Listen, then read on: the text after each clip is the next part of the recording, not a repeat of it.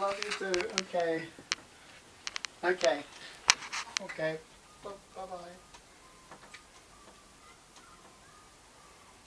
She's not coming.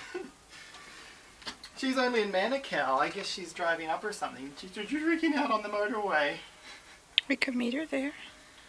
Um, she's meeting John and then they're driving up to Russell or something and I just felt like, don't know, you know, it's okay. They got their little plans and things.